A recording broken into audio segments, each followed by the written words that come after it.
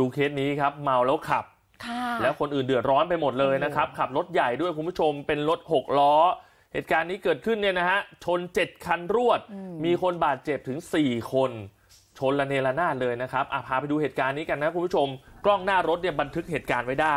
นนทบุรีนี่เองนะครับรัตนาธิเบศรมุ่งหน้าไปนนทบุรีนี่ฮะแล้วรถข้างหลังเนี่ยเป็นรถ6ล้อ ชนคันที่เป็นรถเก๋งมา แล้วก็เบี่ยงจากซ้ายมาขวาสุดเนี่ยแล้วคุณดูซ้ายมือเนี่ยนะโอ้ชนหมดเลย คนที่ขับมาปกติ คนนี้เขาก็โดนเหมือนกันค่ะแต่ยาริสคันนี้กำลังจะเปลี่ยนเลนออกมาปุ๊บโดนชนละคันที่หนึ่งมาชนรถเขาสองแล้วก็เดินไปโดนหกหกล้ออีกสองคันกับรถอีกสองคัน รถเก๋งสีเหลืองกับสีขาว โอ้โห แล้วคันสีเหลืองนี่ ไปอยู่ตรงกลางระหว่างรถใหญ่สองคันด้วย ใช่คุณแน่รถสีเหลืองเนี่ยนะครับติดอยู่ในรถหนักสุดออกไม่ได้กู้ภัยต้องมาใช้เครื่องตัดทางแล้วแล้วก็ เอ่อลำเลียงตัวออกมาเอาตัวออกมานำส่งโรงพยาบาล โหหนักเลยนะเนี่ย ใช่ เหตุการณ์นี้ 4 คนนะครับ ทั้งหมดไม่ใช่แค่รถคันเหลืองคนเดียว 4 คนที่ได้รับความเดือดร้อน จากคนเมาคนเดียวที่ดื่มแล้วขับ อืมคนเมาเนี่ยนะให้เห็นบอกว่าเขาขับรถ6ล้อนะสีน้ำเงินเป็นรถบรรทุกน้ำแข็ง ค่ะ นะครับลักษณะคือเจ้าหน้าที่ไปเจอเนี่ยพูดจาแบบบกวนเลยอะนะฮะคุยไม่รู้เรื่อง ลงมาจากรถเนี่ยคุยไม่รู้เรื่อง เจ้าหน้าที่ถามเลยว่าดื่มมาหรือเปล่า โอ้โห ไปดื่มมาหรือเปล่า ว่าไงคะ เขาบอกว่าดื่มมานิดหน่อยครับ ดื่มมานิดหน่อยนิดหน่อยก็ตำรวจดื่บอกไม่หน่อยแล้วะมั้งเนี่ยคุณชนเขาเนี่ย โอ้ชนยาลิสเสร็จไปชนรถอีกสองสามคัน แล้วมีรถบรรทุกที่อยู่ข้างหน้าอีกด้วยนะฮะกระเด็นกระดอนไปหมดนี่ต้องปิดการจราจร ค่ะ เดี๋ยวลองฟังกันหน่อยไหมขับมาดื่มมานิดหน่อยมันจะขนาดนี้เลยหรือลองฟังอืม อากับกิริยาเขาหน่อยนะฮะ ค่ะ แล้วก็บอกพี่ระวังนะ อเสร็จปั๊บไม่ทันไรเลยเขายังไม่ออกอ่าแต่ไอ้คันเนี้ย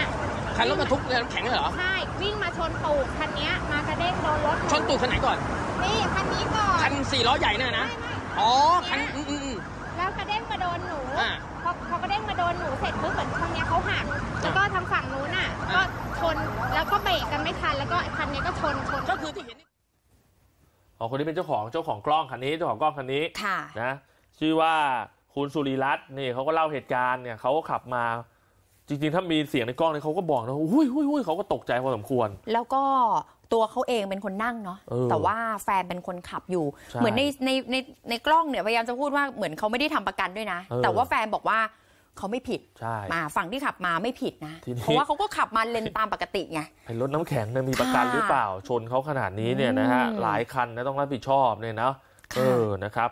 ก็หลังเกิดเหตุเนี่ยนะฮะตำรวจก็ตรวจสอบ 7 คันเนี่ยมีเก๋ง 4 คัน กระบะ 1 คัน แล้วก็บรรทุก 2 คันนะครับ ก็ขวางการจราจรขาออกไปนนทบุรีหมดเลยนะฮะเออก็ต้องไปวิ่งคู่ขนานแทนอย่างที่เห็นนะครับ แล้วก็เร่งช่วยเหลือนะครับ คุณสาวนีที่บอกว่าเป็นคนขับอยู่ในรถเก๋ง MG สีเหลืองอะ คนนี้อาการเจ็บหลังติดอยู่ในรถนะครับ พอออกมาได้ก็รีบนำส่งโรงพยาบาล อย่างที่บอกมีคนเจ็บ 4 คน ส่วนคนขับ แหมคนขับนี่ชื่อว่านี่ซับนี่อนันนี่ต์นี่มาแล้วมาแล้วโอ้ประตูไม่เปิดเลยค่ะซับอนันต์ลงออกไหวไหมเดี๋ยวดูก่อนเออว่าเดินตรงไหมเขาบอกเขาดื่มมานิดหน่อย ผมดื่มมานิดหน่อยครับอ่าตำรวจบอกไม่นิดแล้วดูทำไมเหมือนคนเมาจังเลยอ่าพูดจากระวกวนตอบอะไรก็ไม่รู้เรื่องานะฮะเขาบอกจริง ๆ ครับ ผมดื่มมานิดเดียวอะลองฟังดูฮะค่ะขับมาตรงเดียวเลยตรงเดียวเลยขับมาตรงแล้วเดีก็ยวเลยตรงเดียวเลยแล้วแล้วยังไงแล้วก็ครับแบบแล้วแล้วยังไงถึงชนอะเอา ผมหายผมมาชนผมอะไม่รู้เหรออืมดื่มมาป่ะนิดหน่อยนะอ่าโอเคนี่นิดหน่อยมาเป่าสิ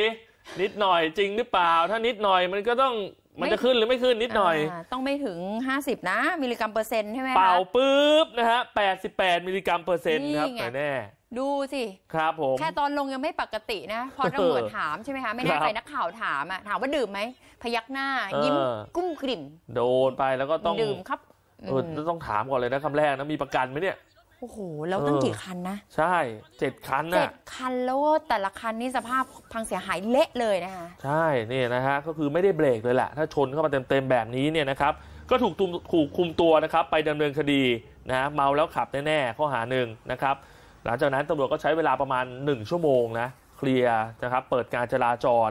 ให้รถเนี่ยวิ่งได้ปกตินะครับเมื่อวานก็รถติดพอสมควรนะ แถวนั้นคนจะออกไปเที่ยวกันด้วยนะ วันเที่ยววันเที่ยวเจอแบบนี้นี่นะครันะบคะวันเที่ยวนะคะ แต่ว่าจะดื่มจะฉลองกันเมาไม่ขับดื่มไม่ขับดีที่สุดนะคะลดอุบัติเหตุกัน